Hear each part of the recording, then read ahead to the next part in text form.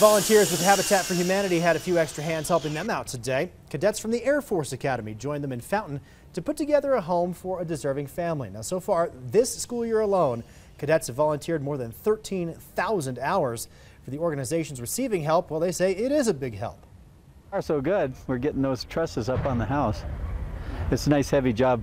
Originally we were thinking about painting today, but when we saw all these cadets, we decided they they should work harder. I try to volunteer once a month. About we're pretty busy as cadets, so we don't have that much time, but uh, usually find a weekend here or there to find something to do. The cadets are helping out a handful of organizations in southern Colorado throughout the weekend, including Goodwill, the Wolf and Wildlife Center up in Teller County, and the Fort Carson Warrior Transition Battalion.